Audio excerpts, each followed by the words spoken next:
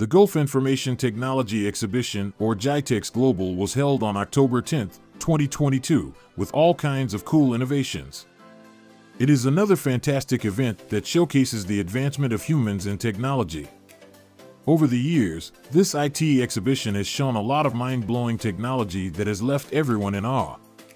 The expo, which is full of flying cars,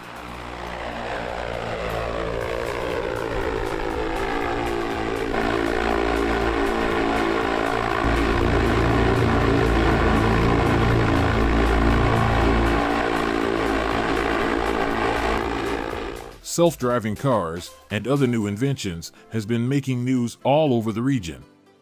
This year, the spotlights were on robots, which can move around freely at the Dubai World Trade Center, where the show is held. A large number of robots had been featured. These robots come in a variety of types and shapes, from robots that look like humans to robots that are functional for work. In this video, we'll be featuring some of the robots in the exhibition that we find most noteworthy. Let's get started. Number 1. Alicia. Everyone has been talking about the AI-powered robot that is on show at the E and exhibit ever since GITEX started. Alicia is quite a conversationalist, making her great at drawing a crowd. She definitely caught people's attention with how she answered questions and gave comments. For example, when one of the audience approached her and asked if he could take a selfie, her answer was, Yes, I would appreciate that. Number 2. Swissmile. The Swissmile is a robot that can do many different functional things. It is controlled by 16 motors and cameras, and an engine can be used to change the shape of its legs. This four-legged companion can go up to 20 kilometers per hour, which means it can get through even the roughest terrain. Its creators say that it can be used to track deliveries and fulfill them in a very short period of time. It can stand on its own two legs when it's in humanoid form, and it could be used for commercial surveillance, large-scale building inspections, and search and rescue missions. It can carry up to 100 kilograms, and it can be used to make speedy deliveries.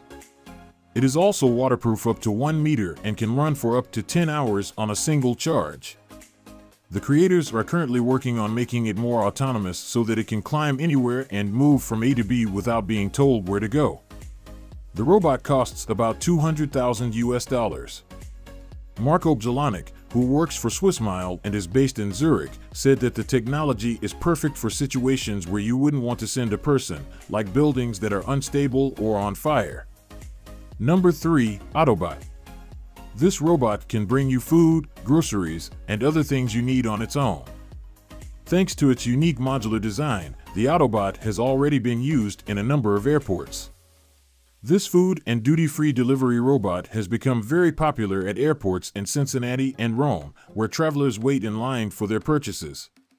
Receivers must show either a unique QR code or an OTP to get to their packages and take them out of the cubicle. This robot is also being used in shopping malls around the world.